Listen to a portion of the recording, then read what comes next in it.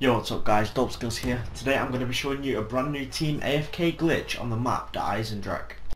So to do this glitch, all you're going to want to do is make your way over to the low gravity room and jump onto this table type thing as you see me do right now. And then once you land on that ledge, as you're going to see me do in a second, you're just going to want to move forward a little bit so that you don't fall and the zombies will not be attracted to you, they will just go for the other players.